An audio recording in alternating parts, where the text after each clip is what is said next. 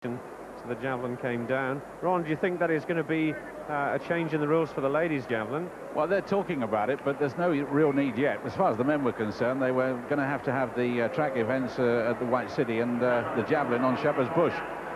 But this is uh, one of the Finnish girls, and what a great tradition they've got. That's a nice throw. Uh, that is a nice throw. That really is a super throw. She's got all the hallmarks of a Finnish thrower, and she's going to upset some of the leaders with that. That's around 63.50. And there was a pull through the line of the javelin. She's thrown 62, uh, 62. And I think that uh, she's going to surprise a few. Alafrantti.